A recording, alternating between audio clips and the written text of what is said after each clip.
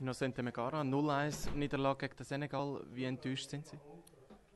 Ja, ich bin nicht ganz äh, gerade enttäuscht. Ich bin einfach enttäuscht, dass wir die Goal nicht äh, gemacht haben. Und, äh, wir haben äh, vier Chancen gehabt. Und äh, ich denke, Senegal ist eine sehr gute Mannschaft.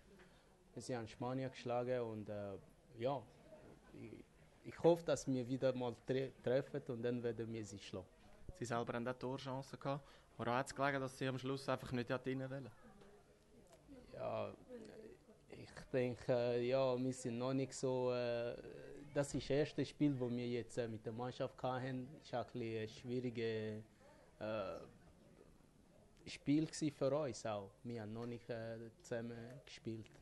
Und äh, es ist sehr wichtig, dass wir heute äh, dafür spielen und dass wir gespielt haben. Und äh, eigentlich haben wir einen sehr guten Match gemacht. Es fehlt einfach Goal.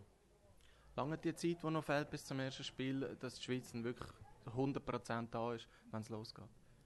Ja, heute haben wir gesehen, dass wir äh, eine sehr gute Mannschaft sind und äh, ich denke, wenn wir die, gegen Gabon die Goal machen, äh, und das werden wir machen, und äh, dann werden wir 3-0 oder 5-0 sie äh, wegputzen. Letzte Frage, was bedeutet die Olympischen Spiele für Sie persönlich? Ja, es, es, ist, es ist, für mich ist es, ist ein Traum. Neben WM ist ein Olympisches Spiel sehr wichtig für einen Spieler zum Erfahrung sammeln. Es ist nicht irgendein einfaches Turnier. Es ist die größte Spiel an der Olympischen Spiel gespielt.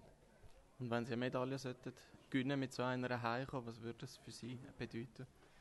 Ja, das wäre ein Traum für mich. Hoffen wir, dass es klappt. Danke vielmals.